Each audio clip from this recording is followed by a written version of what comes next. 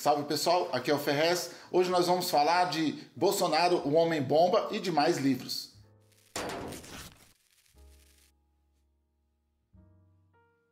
Salve rapa, beleza? Ontem eu fiz um evento muito legal no Sesc Pinheiros, foi da hora, tá ligado? Nem sempre eu vou nos eventos é, que, que me agrada, né, mano? Eu, eu acho sempre que escritor é uma pessoa que fica ali trancado no armário sem conotação, claro, mas você fica trancado no armário. Depois, quando você é solto, você só tira o pó, tá ligado? E vai pro evento, os caras te soltam no evento aí para poder te ilustrar. Mas esse evento foi importante mesmo, que a gente foi debater um pouco de política e a democracia, né? O evento chamava Democracia em Risco, Democracia em Colapso.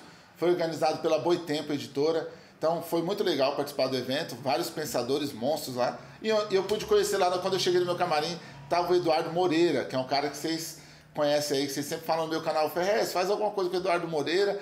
Então eu tirei uma foto com ele lá, a gente trocou umas ideias. Não deu para filmar porque o Caicão tava aqui, não tava lá, tava aqui em Tapicerica, certo? Ele não tava lá comigo e não deu para filmar. Mas uma próxima aí nós vamos combinar, já trocamos contatos, tudo. Então foi a primeira felicitação do dia aí, a primeira felicidade do dia foi trombar ele. Mas o que é muito louco, que eu vim comentar com vocês também fora isso do evento, né, que até acabou saindo uma matéria aí que eu falei que o Bolsonaro fala mais a linguagem do povo, e é verdade. A gente estava falando de linguagem que as pessoas entendem, de conversas que as pessoas compreendem, e alguns candidatos aí, mano, você não entende nada que o cara fala. Pô, Ferrez, mas o Bolsonaro só fala besteira. Beleza, mano, mas as pessoas entendem também, velho. E aí não é questão do nível intelectual de ninguém, é questão, tá ligado? Que as pessoas têm outro tipo de cultura. Se você não plantou uma cultura. É, positiva com livros, com teatro, com informação, tudo como que você quer que as pessoas também tenham uma cultura que entenda jargão acadêmico, tá ligado? Agora, mano, que o Bolsonaro tá virando um homem bomba, velho, isso não tem dúvida, né, mano? Você viu que os, caras no PSL estão explodindo tudo, é delegado explodindo para um lado, é Bolsonaro pro outro, e tudo pra pôr o 03 lá, o filho dele, de líder do partido, velho, na Câmara. Então você vê que o cara ligou pros deputados, né, mano? Eu fui trabalhar ontem, quando eu voltei, tava essa bomba aí. Falei, caralho, velho, não é possível. Eu vou trampar num dia, no outro, quando eu volto, o bagulho já tá tudo destruído. Né? E o cara, para poder pôr o filho ali de líder de partido na Câmara, resolveu estourar logo o delegado, que também é outro homem bomba. Então o PSL está se dissolvendo.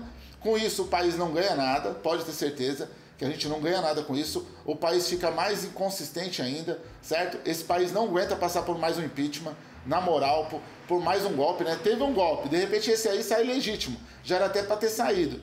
Mas a gente acho que não aguenta, rapa, passar por mais um impeachment, não, mano. Tá ligado? Não tem investidor, não tem produção que aguenta. Você, todo presidente que coloca, os caras dão um jeito de tirar, dá um jeito. Então, ah, tem que continuar com o Bolsonaro? Também acho que não é a solução. Mas o meu medo também, falando sinceramente para vocês, é do jeito que tá esse homem declarando guerra para todo mundo aí, o meu medo é daqui a pouco esse cara falar, mano, eu vou governar essa porra aí com mão de ferro. Que já é meio que a gente está sentindo. Por isso que desse debate aí também que teve ontem, certo? Inclusive, a Boitempo me deu esse livro aqui, ó. Tá ligado? Eu nem tirei do plástico ainda, vou começar a ver essa semana. Democracia em Colapso. É um curso que a democracia pode ser assim: história, formas e possibilidades. Marilene Chauí, Antônio Carlos Mazeu, Virgínia Fontes e Luiz Felipe Miguel, ó. Lançado com o Sesc e com a Boitempo.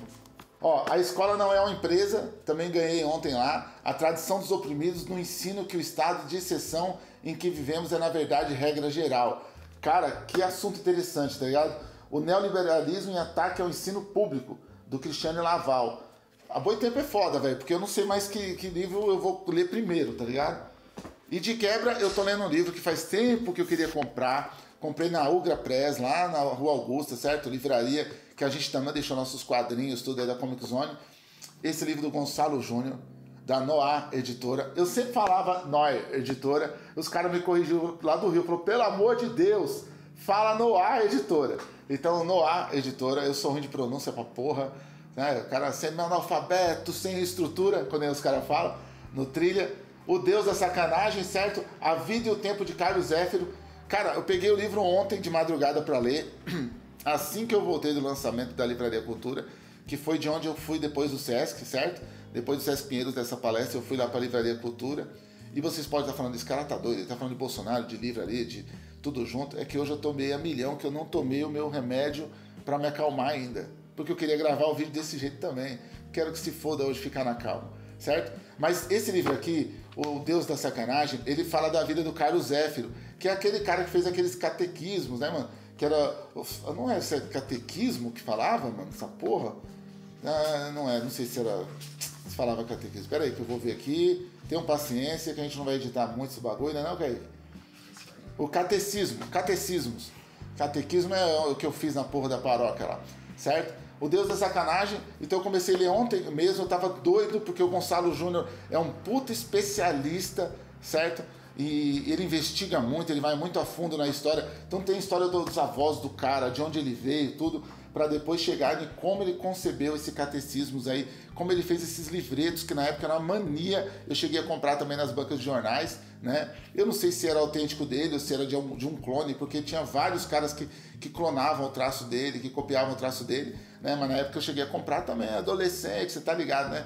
O único jeito da gente ver uma sacanagem era comprando esses panfletos aí, né? E era caro, velho, não era barato não. Então eu super recomendo o Deus da Sacanagem que é um homem que tinha um, uma vida pública ali organizada e tal, tal, e fazia esses folhetos e que toda uma geração aí começou a ler esses folhetos.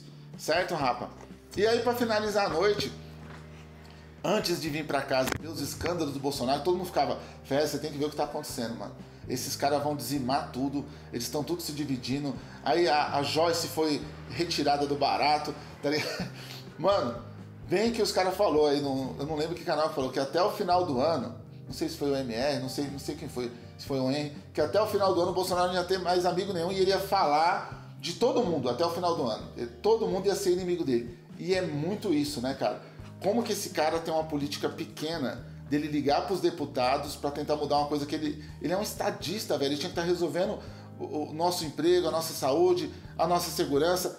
Ou então tá liberando as armas, que nem ele falou aí, para um monte de idiotas, né? Que não, o cara tá ligando para deputados para mudar o voto, para manipular.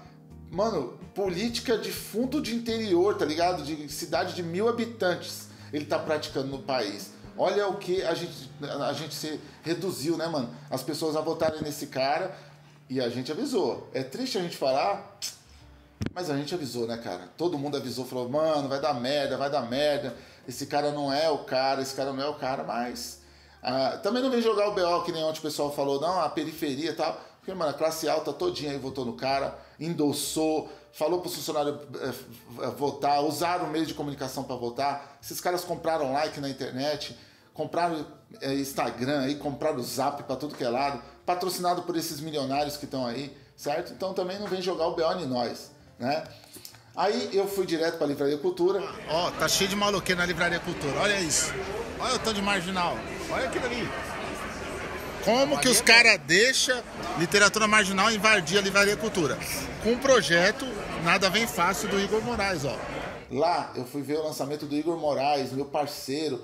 Cara, mano, firmezão, que só conhece, quem conhece pessoalmente sabe o cara da hora que ele é. E ele lançou esse livro aqui, ó, Nada Vem Fácil, certo? Da editora Buzz. Ó, Nada Vem Fácil. Tem um prefácio aqui do Criolo, Atrás também eh, tem uma apresentação né, do Criolo e atrás também tem um prefácio do Criolo. Eu já estou na página 38. E aí esse livro, ele não é um livro só de autoajuda, de meritocracia, não. Pelo contrário, esse livro aqui é a história real de um cara, que é o Igor Moraes, né, que criou a Kings dentro da Galeria 24 de Maio. Eu acompanhei isso, que eu tinha uma loja na 24 de Maio, ali na Galeria do Rock. Ele criou no andar do rap ali essa marca Kings. Ele vendia CDs, vendia vinil e tal. Ele era o atendente, comprei muito vídeo com ele, muito DVD na época, muito CD, tá ligado? Vinha até um rótulo assim, ó, DJ Igor Moraes, porque o sonho dele era ser DJ. Não sei se ele é DJ, o Kaique fala que não. Mas ele se vira também como DJ, né? Mas o Igor Moraes, ele é um cara muito gente boa tal. E quando eu comecei a ficar amigo dele e tal, fui comprar uns tapes com ele, ele era, ele era dono dos tapes do Facção na época. E a gente foi negociar esses tapes tal, porque eu queria que esse tape voltasse de certa forma para a mão do rap também, né? E embora ele também seja do rap, também é um cara que criou toda essa vertigem lá, essa, essa estrutura lá na galeria. E aí ele já estava criando a marca, a gente ficou super amigo, assim, ele me deu várias dicas legais para minha marca. E a gente tem uma relação boa de amizade, eu, ele, Maurício, um monte de gente legal. O dinheiro faz o cara. Olha, livraria cultura, mano. Você é louco. Eu passei fome cinco anos para escrever um livro. Cinco anos. cara tá olhando no celular. Não, deixa eu tirar. tá ligado? O Márcio, que trabalha com ele também. Conheci muita gente boa através é, dele também, pude me aproximar mais do Márcio do Ataque Versus. E, ou seja, é um cara, gente boa pra caramba. E ele lançou aqui como empresário, como um empréstimo de 300 reais, foi suficiente para iniciar uma grande rede.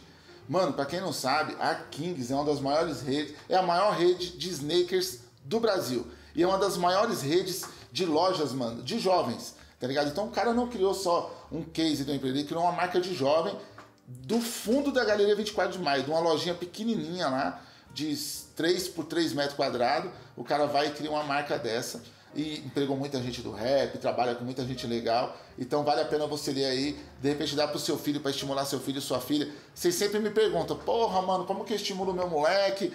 Essa história aqui é de um cara que nasceu na Cracolândia, velho. Tá ligado? Um cara que foi criado na Cracolândia, ali no apartamentinho pequenininho, um pai dono de uma banca de jornal, e o cara foi, se superou e tá aí hoje dando exemplo de vida.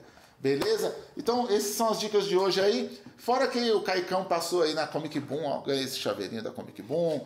Aqui, deixa eu pôr da frente. Aqui, ó, ganhei esses marcas, marca livros aqui. Brigadão.